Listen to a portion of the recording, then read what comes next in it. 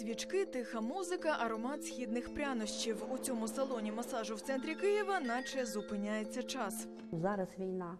Війна, і люди багато стресують, багато отримують таких е, негативних якісь емоцій. А масаж е, це відродження, це гарний сон, відновлення, можна так сказати. Салон китайського масажу Людмила відкрила на початку липня. Ніколи б не подумала, що колись зважиться на такий бізнес, а тим більше під час повномасштабної війни. Ідея прийшла, коли жила в евакуації. Під час війни сталося так, що я перебувала в Тернополі і мене запросили в один із таких салонів. І коли я приїхала, е, мені запропонували одну з процедур це магія молодості обличчя. І коли я вийшла, я зрозуміла, що я хочу такий бізнес, я хочу таку, такий салон в Києві. Людмила зізнається, зараз клієнтів небагато, проте бізнес-вумен налаштована розвивати справу, навіть попри те, що добре розуміє, певний час доведеться працювати собі у збиток, затягнути пояси і грати вдовго.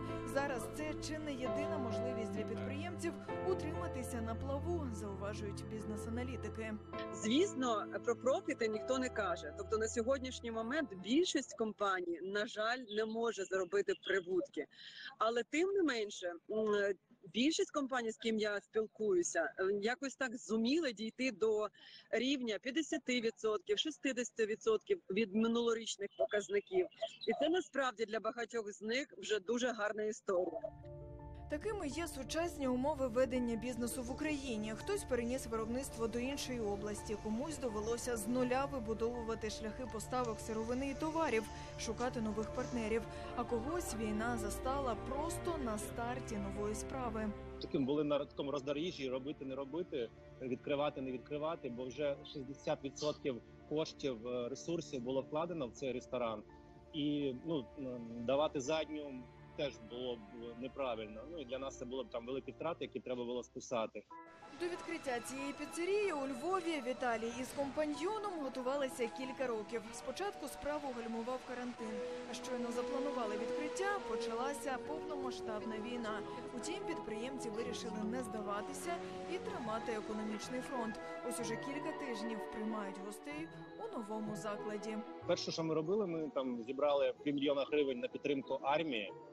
Ну бо вважали в той період саме правильно. На даний момент ми там ми не заробляємо, але ми сподіваємося там і віримо, віримо в перемогу. Те, що там все встановлюється, і платоспроможність наших громадян, тобто ми зможемо там ставити більш ринкові ціни на ці продукти. Будемо заробляти, ну але не зараз. Попри будь-які перешкоди, добре робити свою справу та намагатися покращити життя людей. Це ті речі, які допоможуть зробити бізнес успішним навіть у нелегкі воєнні часи.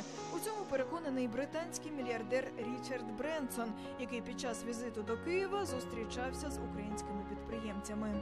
Скільки от з вас тут почали свій бізнес от нещодавно?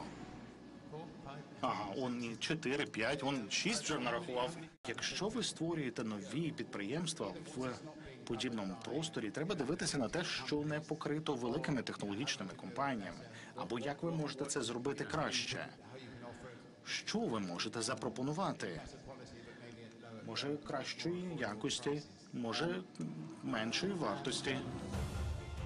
Часи, коли увага всього світу прикута до України, саме час заявити не лише про військовий, а й про бізнес-потенціал українців, переконаний зірковий гість, відкриття нових підприємств, відтворення нових ринків, встановлення нових бізнес-зв'язків.